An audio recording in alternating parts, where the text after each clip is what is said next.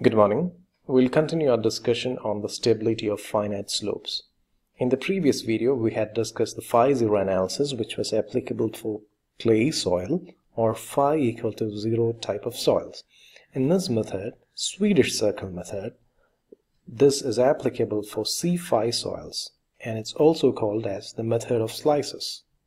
Let's assume that you have a slope ADB with the slip surface AB whose length along the curve is L and AB forms a part of a circle whose radius is R and center is O.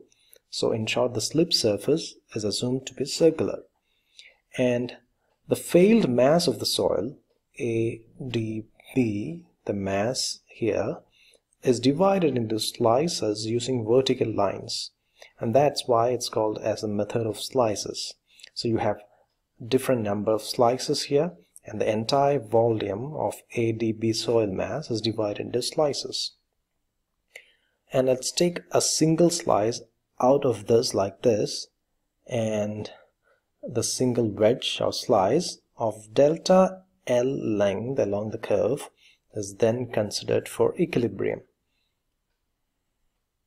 So in short, the volume of the soil that's involved in failure is divided into vertical slices and each slice is taken for us to analyze for its equilibrium.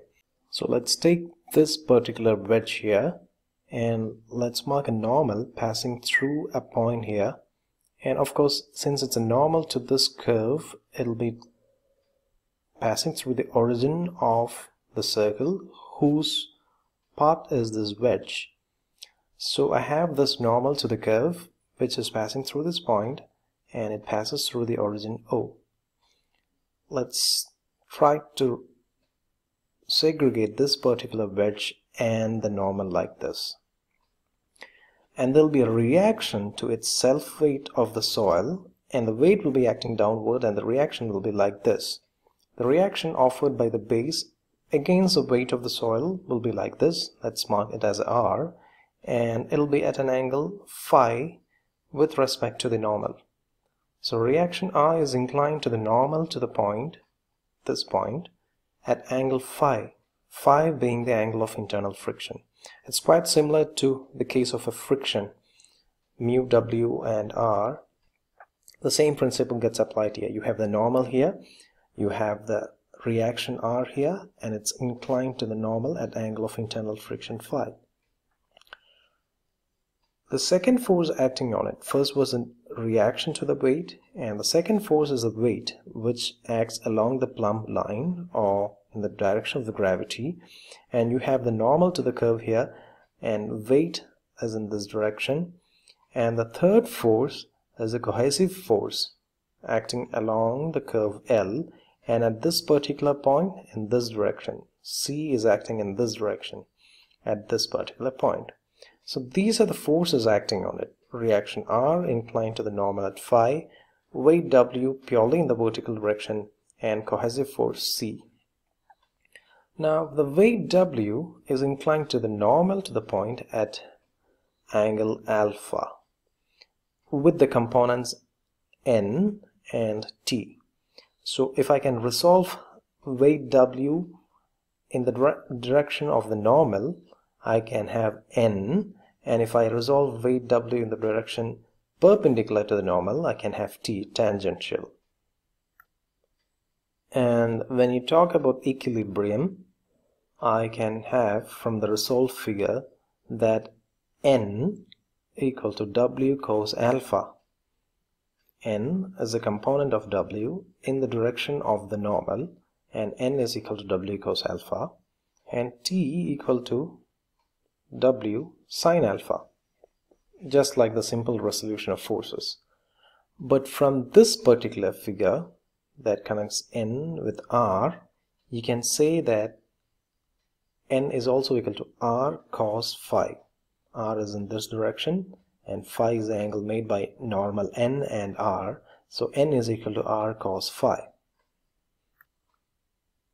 Also this distance which is a lever arm that the, the reaction R makes with respect to the origin is radius times sine phi. r sine phi because this is perpendicular the reaction is perpendicular to this line and this the hypotenuse of this right angle triangle happens to be the radial distance from this point to the center so this blue line marks the radial distance r small letter r and you have the phi angle here so this distance which is nothing but the lever arm that reaction r makes with respect to the origin o is nothing but r sine phi so taking moments with respect to o which is the origin of this circle moment causing failure MO will be T times R.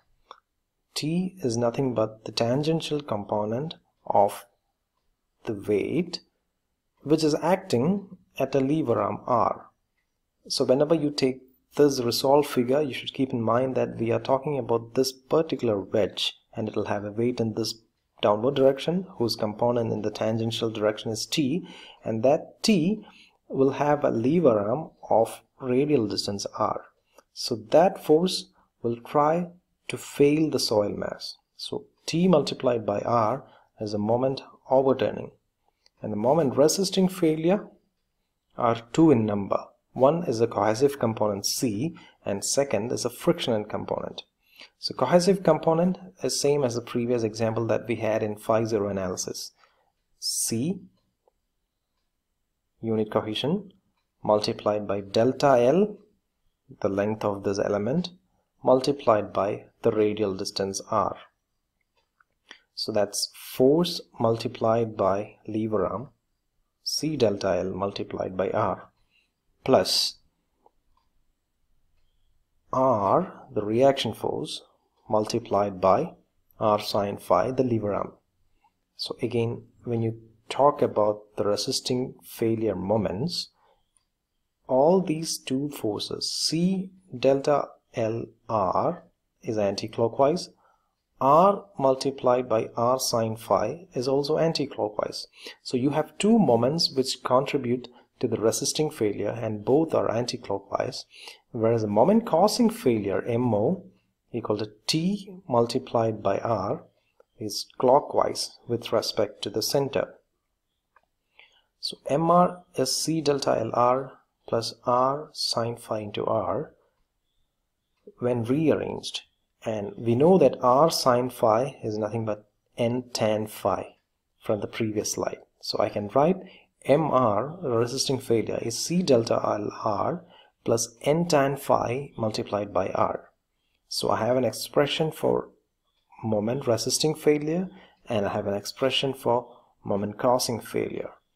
You simply take the ratio of MR to MO and you get the factor of safety.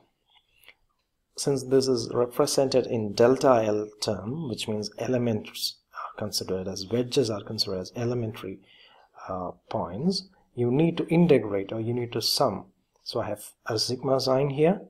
Sigma C delta LR plus n tan phi R by sigma TR. Which simply means that you take this first wedge element and do the analysis to this point. Similarly, you do for other wedges and you sum it up to get the ratio of MR to MO. So MR to MO will give you the factor of safety and that's why it's called the method of slices where you take each slice analyze it for its equilibrium considering forces W, R and C and you arrive at the factor of safety and likewise do it for every other slices sum it up and take the ratio to get the factor of safety of the whole soil wedge and the final expression cancelling out r which is common in numerator and denominator is cl plus sigma n tan phi by sigma t which is expression for the factor of safety in case of C phi soils using the Swedish circle method.